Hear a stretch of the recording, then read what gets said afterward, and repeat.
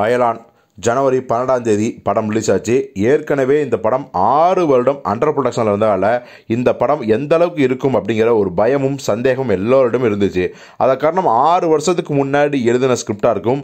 அதுவும் ஏலியன் அப்படிங்கிற கான்செப்டில் வந்து நிறைய படங்கள் வந்துருச்சு. நிறையா ஓட்டிட்டு வந்ததுக்கப்புறம் பார்த்தீங்கன்னா மக்கள்லாம் அது மாதிரியான கான்செப்டில் நிறையா படங்களை ஹாலிவுட் படங்களை கொரியன் படங்களை மற்ற படங்களாக பார்த்துட்டாங்க. ஸோ தமிழில் இந்த படம் எடுபடுமா எடுபடாதா அப்படிங்கிற ஒரு ஐயம் இருந்துகிட்டே இருந்துச்சு. ஆனாலும் கூட இந்த படத்தின் ஹீரோ சிவகார்த்திகேயன் மேலேயும் இயக்குனர் ரவிக்குமார் மேலேயும் நம்பிக்கை வச்சு அந்த படத்தை வந்து பார்க்க வந்தாங்க. பார்த்த எல்லாருக்குமே முழுசாக அந்த படம் பிடிச்சதானா? இல்லை. ஆனாலும் கூட கலவையான விமர்சனம் வந்துச்சு. சில பேர் நல்லா தான் இருக்குதுங்க. ஒரு தடவை தாராளமாக பார்க்கலாம் அப்படின்னாங்க. சில பேர் வந்து இல்லைங்க செகண்டாக போர் வைவினாங்க எது எப்படியோ இந்த படம் வந்து தமிழ்நாட்டில் கலவையான விமர்சனம் வந்துச்சு.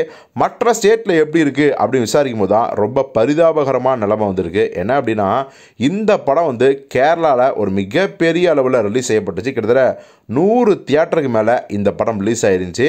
ஆனால் இப்போ என்னென்னா இங்கேயாவது கலவையான விமர்சனம். சில பேர் நல்லா இருக்குங்கிறாங்க சில பேர் நல்லா இல்லைங்கிறாங்க.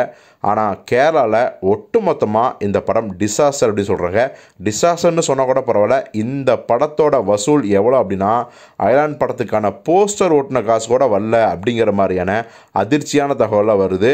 ஸோ இந்த விஷயத்தை பார்க்கும்போது இது நம்புறதா இல்லையா அப்படிங்கிற ஒரு ஆச்சரியம் அதிர்ச்சியும் இருக்குது ஏன்னா சிவகார்த்தியன் ஏலியன் இசைப்புயல் ஏஆர் ரகுமான் ரகுல் பிரீத் சிங் இன்டர்நெட்டினால் ரவிக்குமார் இந்த மாதிரியான ஒரு பக்கா காம்பினேஷன் இருக்கிற அந்த படம் தான் அயலான். ஸோ அந்த படத்துக்கு எப்படி இந்த அளவுக்கு கேரள மக்கள் ஆதரவு கொடுக்கல அப்படிங்கிற ஒரு சந்தேகமும் ஒரு அதிர்ச்சியும் ஏற்படுது. ஒருவேளை கேரளாவில் சரியாக ப்ரொமோஷன் பண்ணலையோ அப்படிங்கிற மாதிரியும் நமக்கு தோணுது.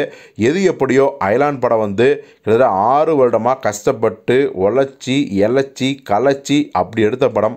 ஸோ இப்படிப்பட்ட ஒரு நிலைமை கேரளா ஸ்டேட்டில் இருக்குது அப்படிங்கும்போது உண்மையாலுமே வந்து எல்லாருக்குமே வருத்தமாக தான் இருக்குது. ஸோ கேரளாவில் சரியாக போகாததுக்கு என்ன காரணம் அப்படிங்கிறத விசாரித்து தெரிஞ்சுக்கிட்ட தான் இனிவரும் படங்கள் இந்த மாதிரியான ஆபத்தை சந்திக்காது அப்படிங்கிறது தான் உண்மை. ஸோ பொறுத்தந்து பார்ப்போம். அயலான் படம் கேரளா மக்களுக்கு ஏன் பிடிக்கல? ஏன் ஏற்றுக்கவே இல்லை அப்படிங்கிறத வந்து நம்ம பொறுத்திருந்து தான் பார்க்கணும்.